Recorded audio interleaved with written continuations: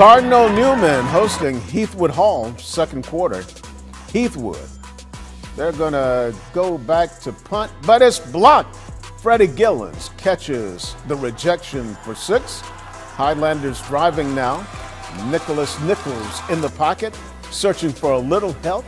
He finds A.J. Green inside the Cardinals 30. Next play, David Rogers will get home for the strip sack, and the Cardinals are going to move to 4 and 0. They get a big victory, 53 to 14.